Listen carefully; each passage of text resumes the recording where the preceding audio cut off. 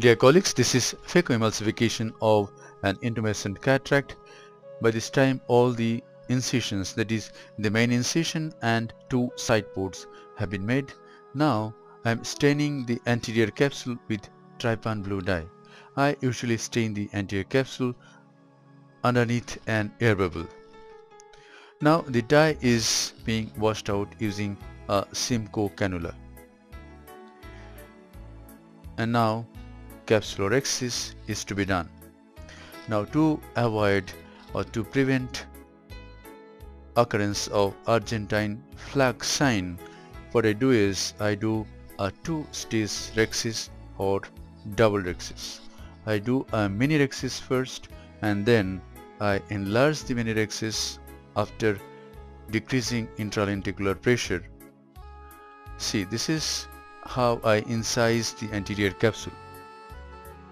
The C flap is made and a small rhexis is made at this stage. I have used only HPMC before making this small rhexis. I haven't used sodium hyaluronate.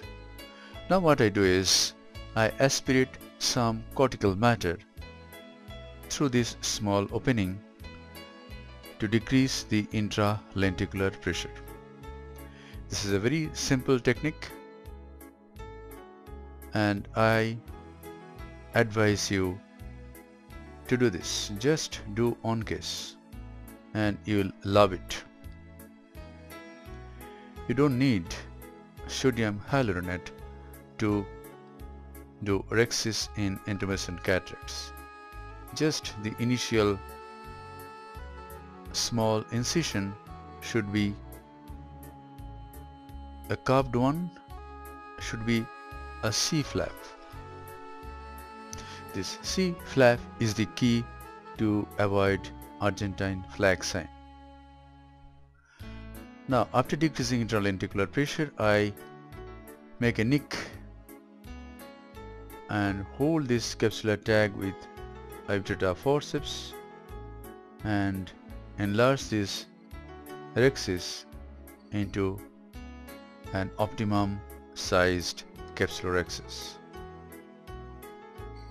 This optimum sized rhexis is about 5.5 millimeter or so.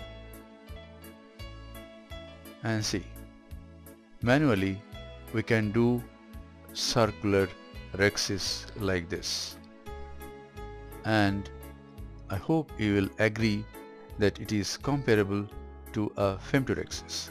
So dear colleagues, we just have to increase our skills. Otherwise, we will end up in investing a very costly instrument that will do the same job. Circular rhexis, which you can do manually in an intumescent cataract, you will do the same thing with a femto laser. Now this is direct chop which I do nowadays in almost all cases except in very hard cataracts. I made one or two, three sculpts to go to a deeper plane. Now we can call it submarine chop.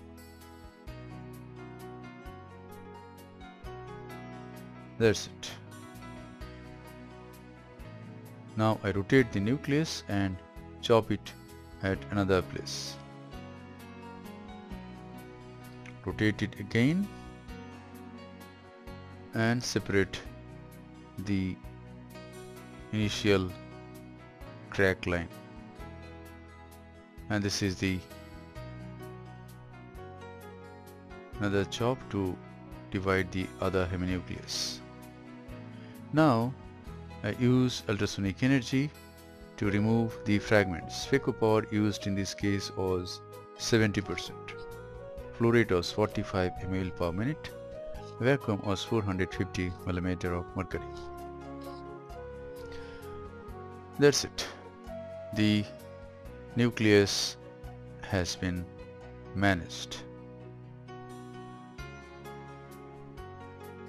Now through the side port this small nuclear bit is coming out.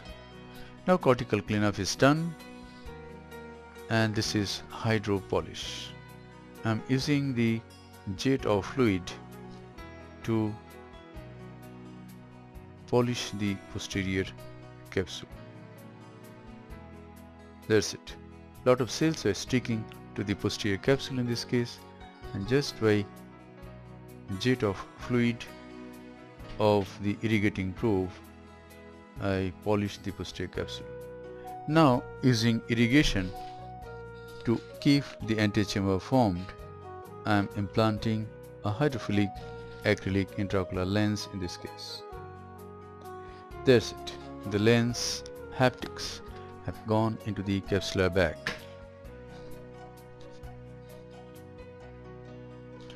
And now the case is done. There is no viscoelastic substance in the anterior chamber. So a lot of time is saved if you if we implant intraocular lens under irrigation a lot of time is saved that have to be spent to remove the viscoelastic substance. Now the side ports are hydrated, moxifloxacin has been injected into the anterior chamber.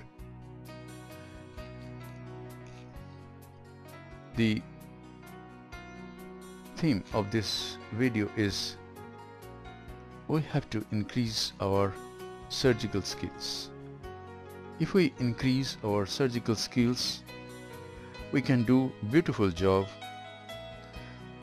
without help of a very costly, costly instrument like uh, a femto LASIK, sorry, femto laser that will cause, that will help you in making and doing capsulorhexis in intumescent cataracts. Now this is the final wash.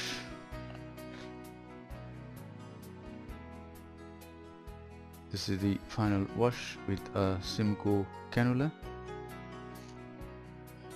Thank you very much for your attention. Hope this video will help you in developing your surgical skills. Please do a great job. Please serve the humanity with your great surgical skills.